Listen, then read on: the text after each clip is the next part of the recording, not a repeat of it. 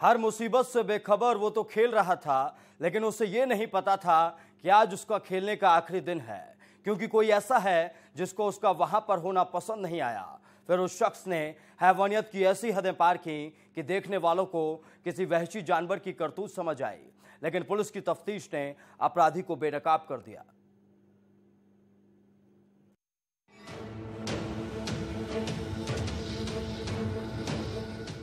तेरह साल का दीपक उस दिन खेल में इतना मशगूल था कि उसे ये नहीं पता चला कि वो किसी के निजी पलों की तरफ़ बढ़ रहा है।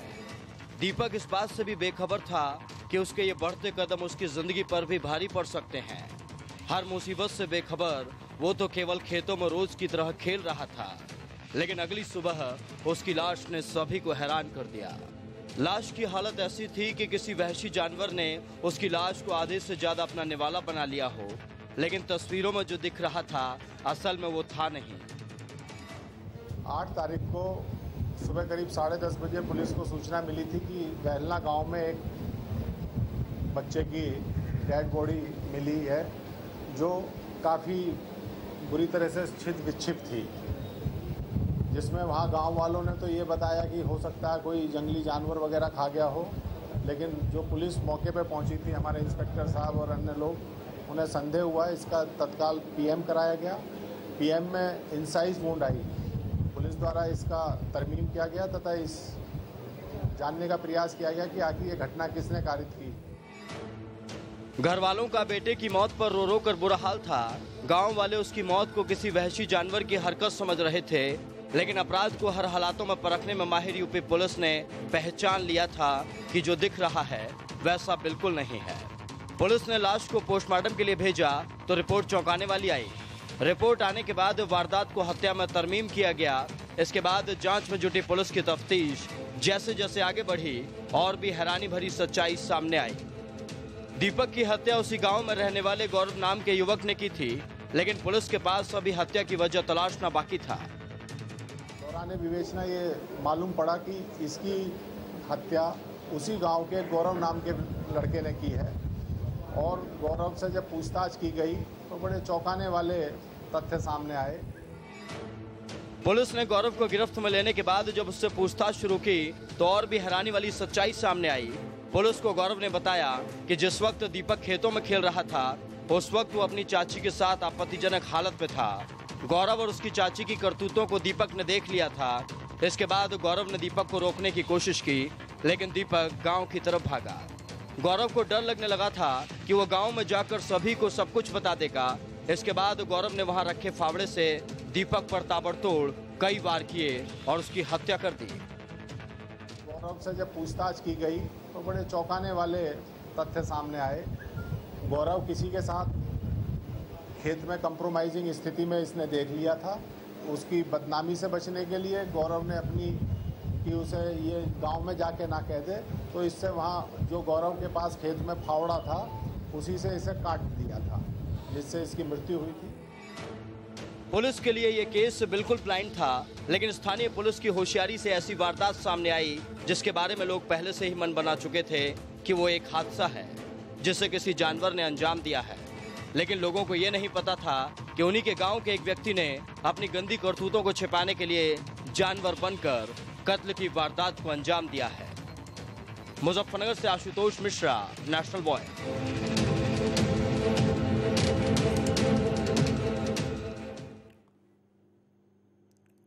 समाज को शिक्षित करना और एक सभ्य समाज की कल्पना ही उसका उद्देश्य था। वो लोगों को शिक्षित करता था, लेकिन उसकी शिक्षा और बेमिसाल व्यवहार उसके अपनों के दिलों में ही चुपता था। फिर एक दिन एक खौफनाक वारदात ने सब कुछ बदल कर रख दिया। उसका उद्देश्य उसकी ज़िंदगी के साथ खत्म हो गया। अपनों की नफरत ने उससे ज़िंदगी की साँसें छीन ली।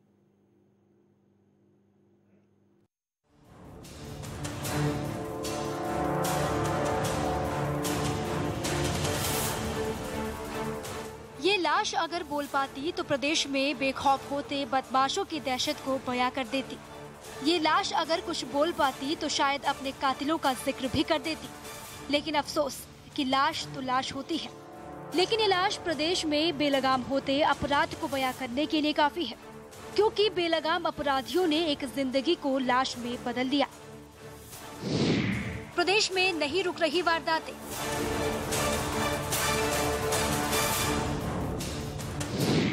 बेखौफ बदमाशों ने किया कत्ल।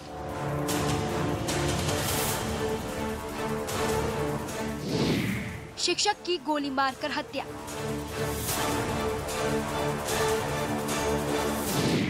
सरेआम ताबड़तोड़ मारी गोलियाँ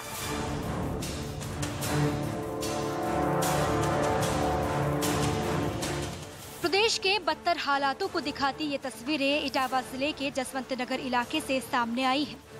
यहाँ के नेशनल हाईवे पर दोपहर के वक्त तीन बाइक सवारों ने जूनियर हाई स्कूल के संकुल प्रभारी की दिन दहाड़े गोली मारकर हत्या कर दी वारदात की सूचना पूरे इलाके में आग की तरह फैल गई।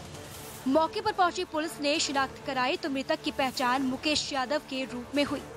पुलिस की सूचना के बाद मौके पर पहुँचे परिजनों के अनुसार मुकेश सुबह निमंत्रण पर गए हुए थे। घर वापस लौटते वक्त रात में तीन बाइक सवारों ने उनको घेर कर हत्या कर दी। जानकारी हुई है, किसी ने निमंत्रण खाने गए थे? वहाँ से लौटते समय किसी ने गोली मार दी। कितने लोग थे वो लोग क्यों मारने वाले? सुना है कि तीन लोग थे। तीन लोग थे बाइक पे। हाँ बाइक।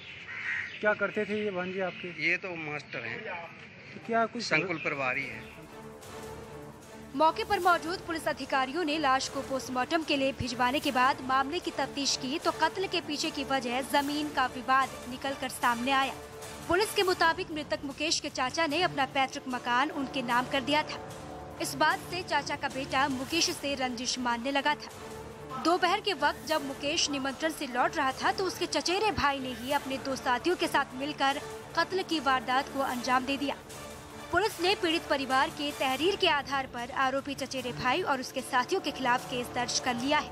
अब पुलिस वारदात के बाद से फरार तीनों आरोपियों की तलाश कर रही है। जानकारी इसमें कि ये मकान के विवाद को लेकर के झगड़ा हुआ है और इसमें चाचा ने, अपने भतीजे जो मृतक है, उसके नाम अपना मकान कर दिया था। तो उसके खुद के लड़के ने ही ये घटना करवाई। इसमें दो लोग नामजद हैं। एक हथियार है और इनको पकड़ने के लिए चार टीमें लगाई गई हैं। तभी दी जा रही है, अभी तक तो कोई पकड़ नहीं गया। जैसे ही होगा तो वारदात के पीछे की वजह से एक बार फिर साबित हुआ है कि ज़मीन जायदाद का विवाद हमेशा खौफनाक अंजाम के साथ ही खत्म होता है। चचेरे भाई ने जिस ज़मीन के लिए अपने ही भाई के कत्ल की वारदात को अंजाम दिया, उससे न केवल रिश्ते कलंकित हुए हैं, बल्कि उससे समाज भी शर्मिंदा हुआ है। इटावा से नेशनल वॉइस के लिए रोहित सिंह की रिपोर्ट।